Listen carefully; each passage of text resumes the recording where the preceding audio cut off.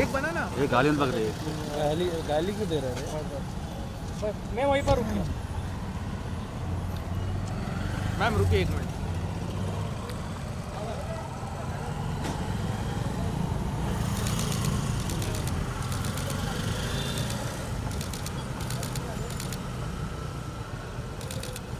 Ma'am एक minute हाँ।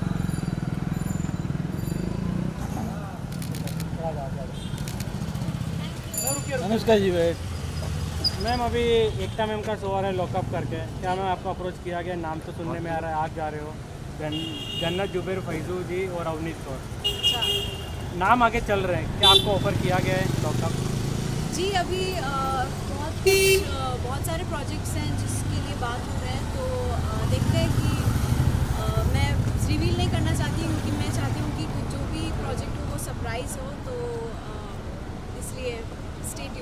और और तो सबसे बड़ी अच्छी बात है कि कंगना जी शो होस्ट कर रहे जी।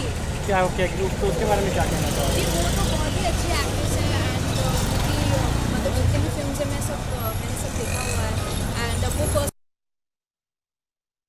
फ़र्स्ट सब लोगों के लिए। तो all the best Ekta ma'am को एंड कंगना मैम को। और मैम अभी अभी असनूर जी का भी सॉन्ग आ रहा है।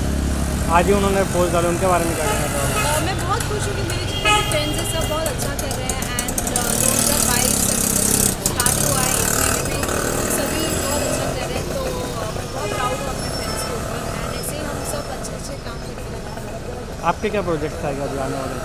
वही बहुत से प्रोजेक्ट्स को लेकर बात हो रही है तो मैं इसलिए चाहती हूँ कि सब फाइनल हो तो मैं आप सबके साथ रिवील कर पाऊँ क्योंकि हमेशा मैं अपने फैंस के साथ शेयर करना हूँ। तो बहुत सारी चीज़ें जो लाइंड अप है सो आई वेरी एक्साइटेड आपने गंगू भाई का ट्रेलर देखा? जी मुझे तो बहुत अच्छा लगा। आई थिंक आलिया भट्ट वैसे एक एक्ट्रेस है जो मुझे बहुत पसंद है क्योंकि वो इतनी अलग अलग टाइप के रोल्स कर रही है।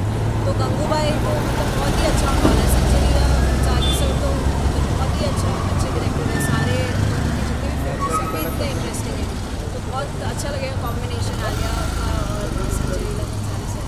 और मैं अभी हाल ही में लता मंगेशकर जी की डेथ हो गई थी उनके बारे में क्या कहना मैं तो यही कहना चाहूँगी कि वो इंडिया की मतलब हमारी जेम थी एंड बट वो मैं ये विश्वास रखती हूँ कि जब ऐसे कोई लोग चले आते हैं वो कभी हमेशा मतलब कभी पूरी तरह से नहीं जाते हैं क्योंकि उनके गाने हमारे साथ तो हमेशा हम सबके दिल में रहेंगे।